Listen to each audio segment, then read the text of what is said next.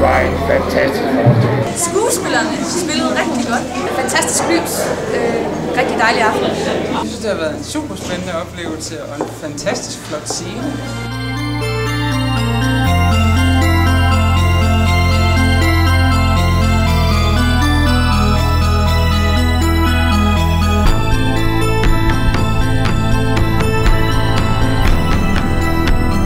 Det her er rigtig, rigtig, rigtig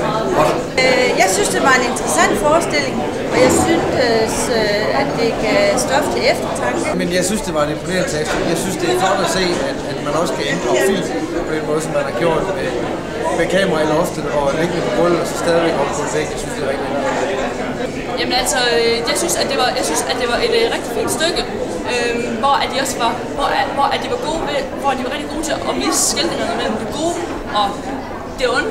Og samtidig synes jeg også, at, øh, synes jeg også, at øh, de var rigtig gode til at skifte kostymer.